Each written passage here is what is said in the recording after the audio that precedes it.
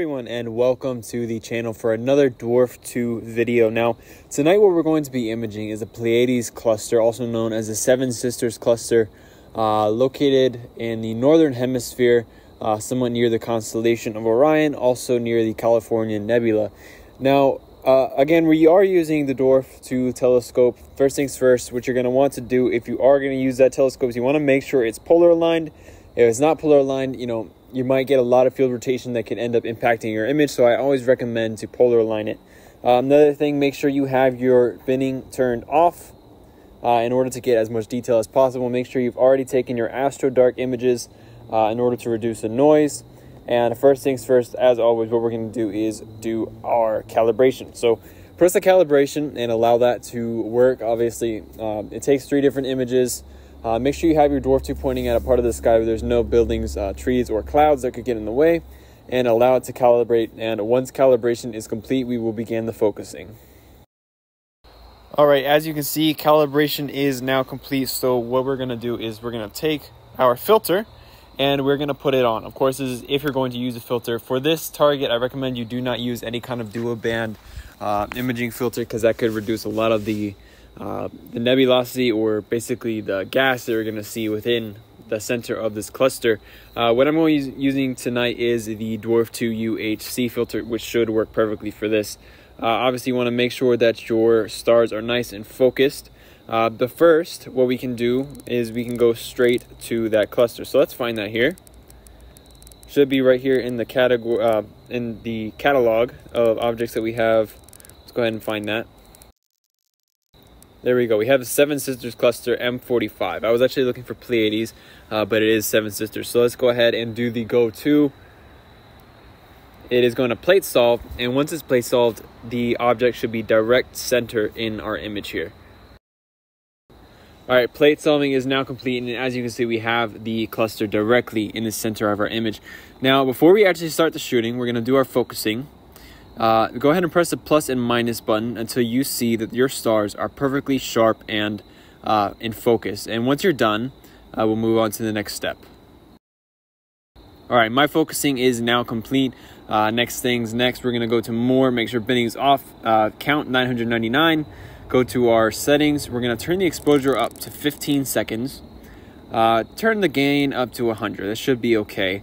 Leave the IR on pass and leave all the other settings the same. And afterwards, we're gonna press the shoot button and allow it to start taking the images.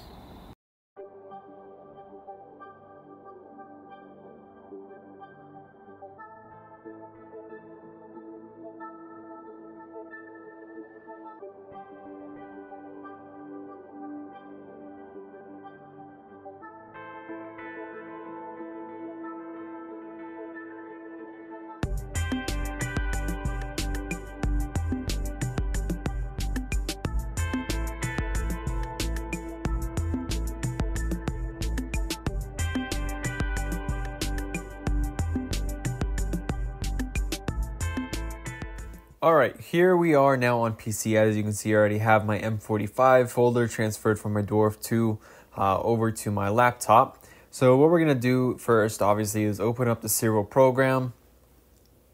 We're gonna go to our preferences. Now remember that the uh, Dwarf 2 uses the Bayer pattern of GBRG, so you wanna make sure you uncheck this box, uh, set it as GBRG, or you can just leave it checked um, and it will automatically convert the Bayer mosaic pattern depending on the file's header. Um, another thing for this video, you want to make sure you have the OSC preprocessing without dark bias or flats installed uh, on your Siril program. If you don't know how to, I do have a video of that on the channel in regards to uh, setting up Siril. Uh, it's where you will find this. but um, once you set your uh, M45 folder as your home directory, you go ahead and open up script and allow the OSC preprocessing without DBF uh, script to run. Uh, and it should go through pretty fast. Uh, obviously, we're using 999 files, so let's allow this to run. We'll come back to once it's finished. All right, so the stacking process is actually now done. Uh, I actually had to end up coming back to this process the, a couple nights later because this actually took about 12 hours to actually finish stacking, uh, and it used up about 108 gigabytes worth of data on my computer uh, for the whole processing. Of course, that's only on the Siril program. So, uh, in regards to that, one thing I would like to point out is anybody who does plan on doing post processing uh, with Siril with the one by one binning on Dwarf 2, make sure you have a whole lot of storage space on your computer and make sure you have a good and fast enough computer uh, that will actually be able to process things a little bit more quickly if you're hoping to get things done a little bit faster. But, anyways, now we have that done. I'm excited to see what we were able to get with M45 on Dwarf 2. Uh, so let's check that out now. Open up the result.fit file. Let's move this into auto stretch and unlink our image. And we can already see a lot of the wispy nebulosity right here. Uh, absolutely beautiful image so far. Of course, uh, one thing I did notice as well was these abnormalities uh, definitely caused by perhaps some scratches that I had on the filter. Unfortunately, uh, sometimes it's a little bit hard to keep those things maintained, so I will have to go ahead and buy some other ones. But uh, just for everyone to know, that's that's what these are. These are just some abnormalities on the uh, surface of the filter itself. Uh, if you get a Dwarf 2 and don't use a filter, you will never notice this type of thing uh, unless there's some issue that I'm not aware of. Uh, but this one definitely is not a result of the actual Dwarf 2 telescope, it's just a result of the filter not having been not being taken care of properly as it should have been. So just you know, quick verification, that's what that is. Also, if you're interested in buying the Dwarf 2, by the way, currently, uh, because of Black Friday, they have a huge sale going on on their website. So make sure you go and check that out. Uh, you, I have the link down, uh, down in the description as well, so you can go check that out for yourself. Uh, okay, uh, so first things first, what I'm going to do is I'm going to go to image processing, background extraction, uh, generate that, and make sure I do not get any of that wispy nebulosity in here uh, in the samples. And once that's done, hit compute background to even everything out. Once that's complete, as you can see, there's a big difference in the nebulosity here. It's a lot more contrast there. Let's go ahead and go do our remove green noise, hit apply on that. Hit close, save that image. Go to image processing again, color calibration, do your photometric color calibration. Obviously, we're going to type in M45 for this image, hit find, and get, make sure the coordinates are correct. As you can see, it's right there. Hit OK here.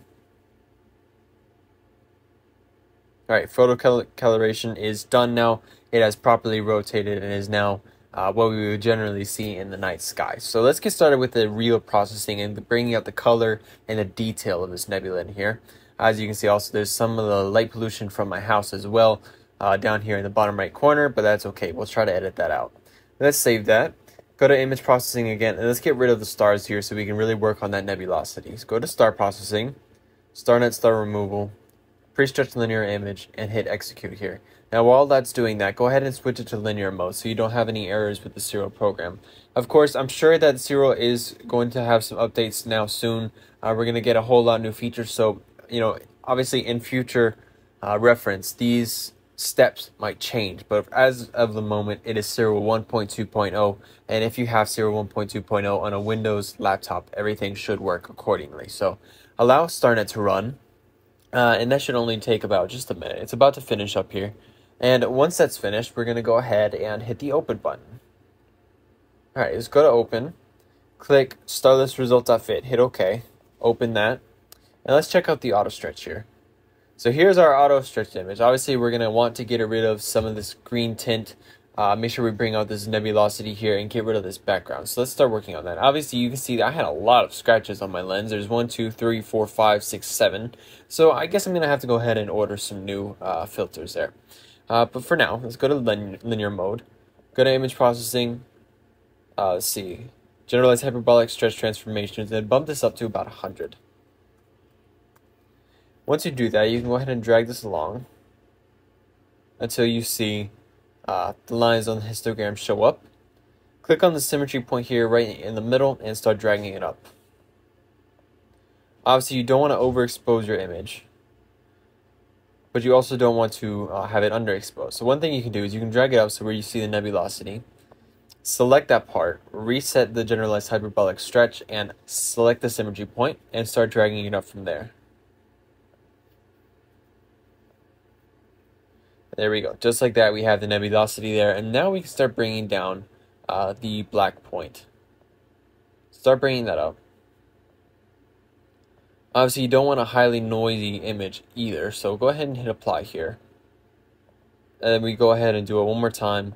Uh, unfortunately, I can't really get rid of this. I might have to somewhat crop this out later. Uh, but for now, this is this is okay. Go ahead and select that part. Select that there and start dragging up a tiny bit more. Obviously, we don't want it too exposed because we don't want don't want a whole lot of noise here. So kind of lower it down just a little bit. There we go. That's perfect for me. Hit apply, hit close. And now another thing you can do is you can go to this histogram transformation, set this to 1, and you can kind of drag up the black point just a tiny bit. Obviously, as you can see, um, as, the, as you see on these lines here, I clipped the black point a bit too much, so it ended up clipping into my data. Uh, that's a common mistake some people make. Uh, obviously, they make their background a bit too dark, and as a result of them making the background too black, uh, as they would think that you know that's what space looks like. Something sometimes you just have to keep in mind. Sometimes you need a little bit of that background coloration in order to not get rid of you know the complete nebulosity. So when you're doing your background stretch, uh, the histogram transformation, make sure that you do not clip too much of the data. Otherwise, it could end up looking too dark, and that's not something that you want generally in astrophotography, unless you have a very good setup. Uh, and you have your darks and your lights, you know, everything calibrated correctly, which the Dwarf 2 does not have it does not have you know the bias frames, the flat frames. It just has the lights and the darks. So uh, with this type of thing, you need to be careful. You need to be really careful with not clipping too much of your data. Now the next step we're going to do is we're going to hit save here. Image processing, we're going to do our color saturation and bring this up. Obviously, we don't want it to get too saturated because if it's too saturated, what could happen uh, is you could end up having, you know, a lot of these weird colored pixels, which is something you definitely don't want in an astrophotography image because uh, it can really take away from the beauty of it. So go ahead and recenter in the frame. Honestly, I'm happy with how it looks for now. So hit apply here. We're going to save that. Now let's bring the stars back in. Let's go to the uh, image processing, do our star processing and star recomposition. Background stretch parameters, hit starless result.fit. And there should be your uh, starless result here. And then we go to our star mask and bring that in. Obviously, we're going to want to bump this up a lot because the Pleiades cluster is all about the stars. Go ahead and bump this up as much as you want. I would like to hide that green uh, that we have here, if we could, just with a little bit more stars here. Obviously not too much. Hit apply here, hit close, and we save this as a unique file. There you go, that is now saved. Now, another thing that you can do potentially, if you would like to, is you can go to Google Photos. Uh, you can go to a website called starfixer.org. So go ahead and go there, starfixer.org. And you go to your images, right? You go to your PNG file. It's going to be in my desktop M45, and here's my image. Hit open, hit submit and allow this to finish. And you'll see a difference between the stars before and the stars after. What this uses uh, is actually um, artificial intelligence to basically sharpen up your stars, to clean up your image. Obviously, it doesn't add in any data that wasn't there before. You know, it's not going to make your images look fake. It's actually just going to make it look a little bit cleaner, doing some extra processing that you don't have to do manually. So that's quite convenient. So uh, we're going to look at the difference before and after as well. So this generally takes about 10 minutes to complete. So let's allow that to finish. Uh, and once that's finished, what we can do is we can, you know, we'll, we'll save that um, and we will take a look at the difference here as well. Okay, as you can see, the job number is now done. So they, it actually gives you three different versions of your astrophotography image, and you can see those three here. Here's number one, here's number two, and here's number three. Now you can choose between which of these is your personal preference. Uh, personally, I'm gonna say I prefer version three. So what we do here is we save image. I'm gonna go ahead and save that in my M45 folder as well, so we can compare that easier. So go ahead and save that. Close out of there. Let's go ahead and move this out of the way and take a look at our two images. Obviously, here's the first one with the Dwarf 2 uh, obviously, you see a lot of this wispiness here. The stars are looking beautiful, and I'm very happy with how the image came out, um, except for, of course, uh, as a result of the filters that I used. Uh, that was a slight mistake that I made, so make sure you uh, always check your filter before you use it uh, with your Dwarf 2 telescope or any telescope that you have so you don't have any wasted data. Uh, then we go to our other image. Obviously, there's a whole lot less noise in the image. The nebula is looking very, very wispy, very beautiful. The stars are looking very nice. And honestly, I'm going to have to say I prefer uh, my second image to this image because also, uh, sorry, to this image because also, if you notice on here, uh, these are somehow uh, slightly less noticeable. Uh, but it doesn't actually add anything to the image, it doesn't take anything away, it just kind of cleans it up uh, but for you automatically so you don't have to try to do it manually, which can honestly be a somewhat difficult and frustrating process. So let me know what you think in the comments. Uh, honestly, I think the Dwarf 2 did an absolutely incredible job in regards to the Pleiades cluster, uh, also known as M45. Uh, again, let me know what you think in the comments. Uh, please leave a like and subscribe. It honestly does help support the channel. Um, I would also like to take the opportunity uh, to show you some work also shown by a uh, friend that I've been contacting on iCloud Mail now. also, if you're interested in contacting me, I have my Gmail download, sorry, not my not my Gmail, but my iCloud uh, email in the description of the video. Let me show you uh, just a little bit of work that I uh, a viewer has shown to me as well. Honestly, I'm quite impressed uh, by the work that they were able to show, and I would like to feature it on the channel tonight. So let me go ahead and show that to you. All right, Vault Plays. This is the image that he actually showed me just tonight. Uh, an image that he took with his own telescope at home of the M45 uh, let's see. Uh, yes, and Messier one. Uh, sorry, Messier forty five. I'm sorry, I wasn't able to pronounce that correctly. He did an absolutely incredible job, and I, I think it's an incredible image. Uh, I want to thank you very much, Vault Plays, for sharing this with with me. Honestly, uh, I'm happy to know that the videos that I've been putting out was able to help you uh, to get this kind of image. You know, in regards to processing. Uh, again, I really want to thank viewers like you for viewing uh, viewing the channel and giving me your uh, input and also honestly is very encouraging being able to see the results everyone is able to give um, especially you know as i said viewers like you. So again thank you very much for showing this. Uh, that's why i wanted to feature it on the channel. It looks great. This was taken with his uh, dslr camera and i cannot recall which telescope he said uh, that it was. Just give me one minute to bring that up. Okay no i just want to uh, change what i said he did not actually use a telescope. This was only taken with his DSLR camera with a 75 through 300 millimeter lens. So this was no telescope. Honestly, imagine what a viewer like him could do with a telescope. Honestly, I'm really looking forward to seeing how you progress vault plays. And again, thank you so much for sharing with me uh, this beautiful image and I wanted to share with everyone else on the channel as well. So uh, if anybody has any work that would, they would also like to share as well that I could display, uh, honestly, I'd be very happy to. This work is absolutely beautiful, absolutely beautiful, and I'm very happy to share it with the rest of the world. So, uh, thank you very much for watching, everyone. Please leave a like and subscribe. Honestly, it does really help support the channel. Um, and uh, as always, I really hope you all have clear skies and have a great night, everyone.